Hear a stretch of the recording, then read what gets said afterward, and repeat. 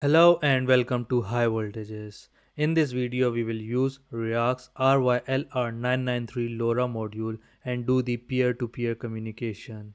For the peer-to-peer -peer communication we will use two different boards ESP32 in Arduino IDE and Xiao NRF52840 Sense using CircuitPython.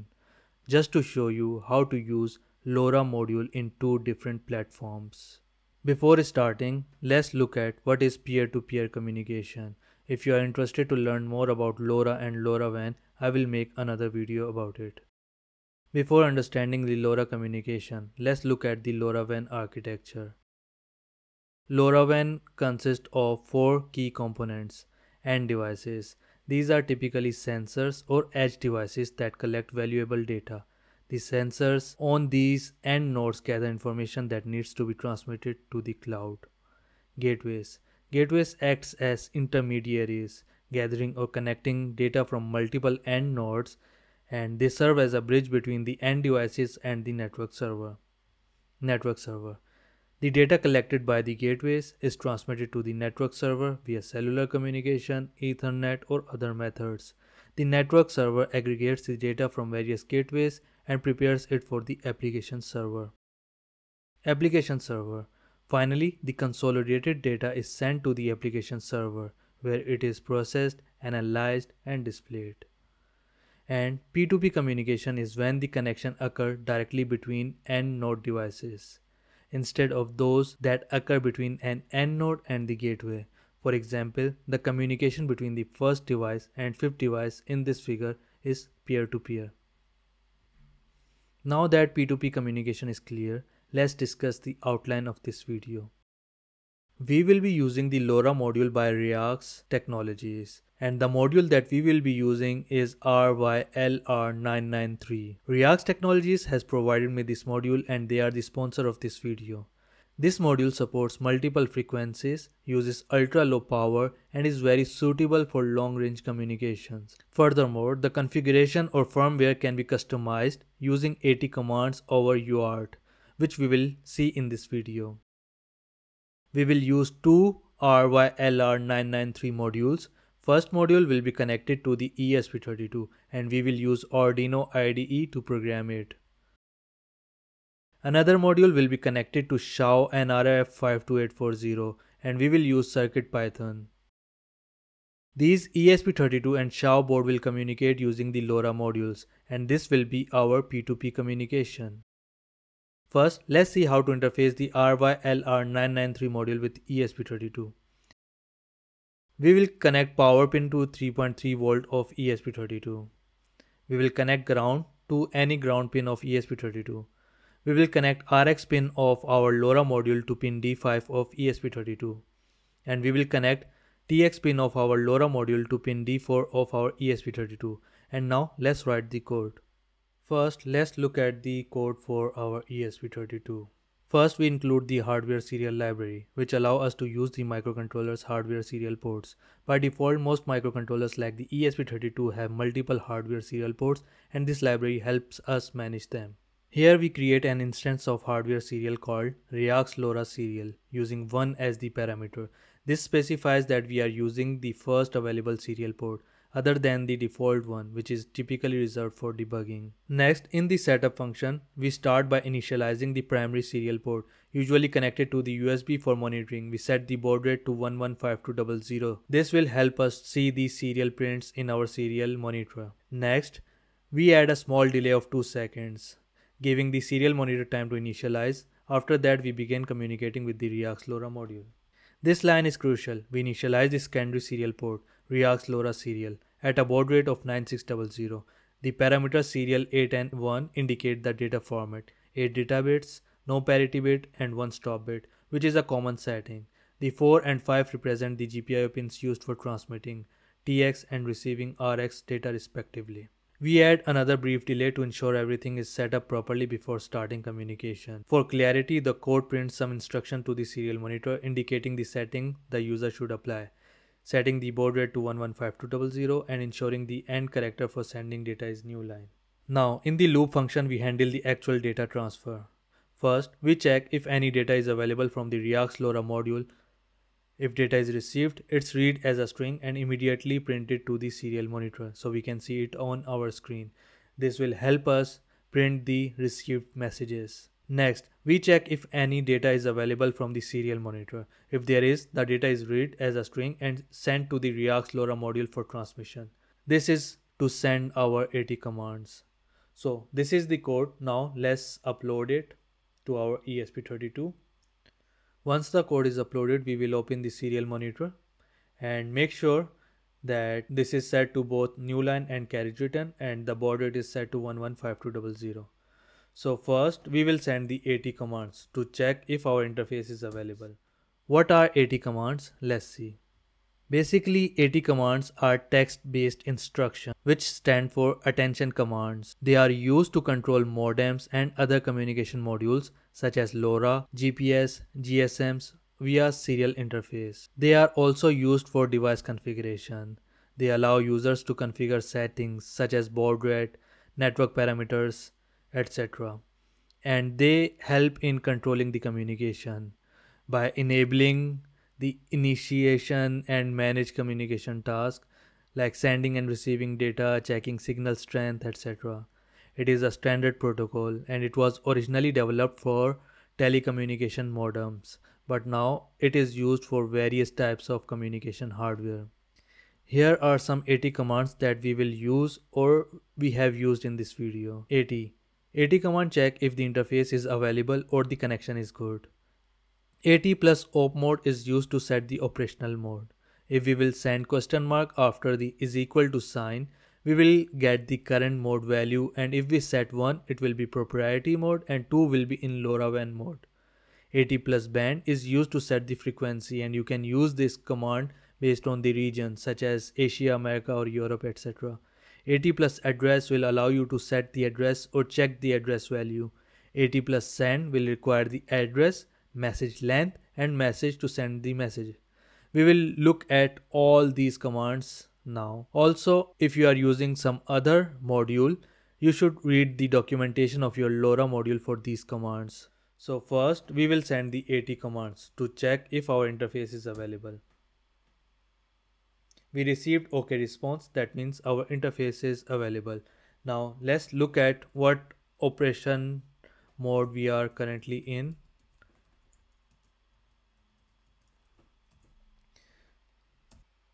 So we get one, that means we are in the proprietary operational mode. That means we can use our LoRa module for P2P communication.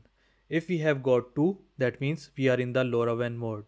So if you would like to change the mode, you can simply send AT plus op mode is equal to 1 or 2 depending on your requirements. Then we can check the frequency band that we are using by typing AT plus band equal to question mark this will return the frequency band that you are using. For in this case it returns 868 megahertz. But if you would like to change the frequency you can change it by typing the frequency band value. So for example let's set it to 923 so now if I will look at the frequency band it will be 92 923 megahertz. Let's change it back to 868 megahertz. And now we can use this command to check the address of this device. So let's see. It returns 3 so that means the address of this device is 3 you can change the address by typing any other value here. For example let's say 2 and now if we will check the address we get 2 here. So that is from the ESP32 side. Now let's look at interfacing using the Xiao NRF52840 module and then we will make these two devices communicate. Now let's look at how to connect Xiao NRF52840 with RYLR993 LoRa module by REYAX. We will first connect the VCC to the VUSB or 3.3 volt of Xiao board you can connect ground to any ground pin of Xiao. RX of our LoRa module will be connected to the TX of the Xiao board or pin number 6. TX of LoRa module will be connected to the RX of Xiao or pin number 7. And now let's write the code for Xiao NRF52840 using CircuitPython. Now let's write the code for our Xiao NRF52840. We are using CircuitPython for this and I'm using Thonny IDE to write the code. We can see here that we are using the CircuitPython and our Xiao NRF board is connected at COM port 5. Firstly, we import the necessary libraries. Board provides access to the microcontroller's pin definition. Bus IO handles hardware communication protocols like UART and time is used for creating delays. We also import system library to handle input from the serial monitor. Next, we define the RX and TX pins. These are the pins used for receiving and transmitting data respectively. Here board.rx and board.tx are placeholders that automatically reference the correct pins for your specific microcontroller. We then initialize the hardware UART interface using bus io.uart. This sets up the serial communication with the LoRa module. We specify the RX and TX pins, set the baud rate to 9600 and increase the timer to 2 seconds, which ensures the code waits long enough to receive data. This function non-blocking input is, is designed to check for user input without blocking the rest of the code from running. It uses the select module to see if any data is available on system.stdin, which is where input from the serial monitor would come from. If there's input, it reads and returns. If not, it returns none. Now the while true loop is where the main action happens. First we check if there is any data waiting to be read from the LoRa module using uart.inWaiting. If data is available, we read up to 56 bytes using uart.read. If data is received, it's decoded from bytes to UTF-8 string, stripped of any extra white spaces and then printed to the serial monitor. Next, we check for input from the serial monitor using the non-blocking input function. If the user has typed something, it gets sent to the LoRa module. We append a carriage return and the line feed to the input before sending, which is often required by device expecting data to be terminated this way. This will help us send AT commands. And then we have a small delay of 0.1 seconds. So this is the basic code. Now we can simply run it by pressing the green button. We will first send the AT command to check if our interface is available. We get OK, that means our interface is available. Next, we will check the operational code, operational mode. And it is set on 1. So that means it is using the proprietary mode. Now we can check the address. The address is set to 1. So now we can make a P2P communication between our two LoRa modules. So let's send messages between them. Now we have both Arduino IDE and Thonny IDE side by side and let's send some messages from these two devices. Let's send a message from ESP32 to Xiao NRF52840 using LoRa P2P communication.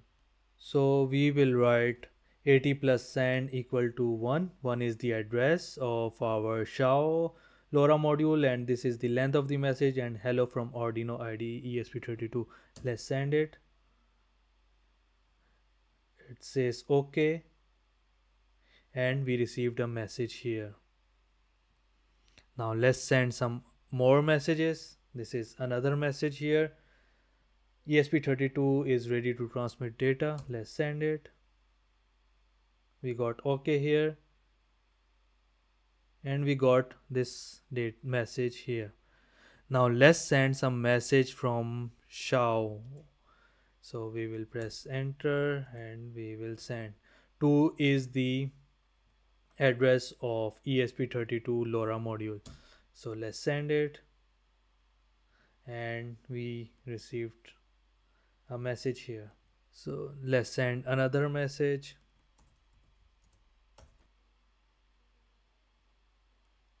Perfect. And now if you are familiar with Xiao NRF52840 board, you will know that it has a built-in gyroscope and IMU inside it. So let's use that data and send that data to ESP32 LoRa module. So So now I will stop this code and this is another code which reads the gyroscope and accelerometer data from from the Xiao NRF52840 board and send it periodically. So now let's run this and you will see that we have started to receive the gyroscope data from Xiao NRF52840. Let's move it a bit and you see here. All the codes will be available in the description and I will provide the link to the LoRa module in the description which is by REYAX Technologies and you will find a detailed blog in the description of this video. If you will have any question feel free to ask them in the comments. In the end, I would like to mention about my book, which is available on Amazon. If you are interested to learn more about ESP32 and build IoT projects, check out this book. You can scan QR code for accessing this book. Thank you for watching this video. I would be happy to answer your comments and if you like this video, please share and subscribe for more such videos.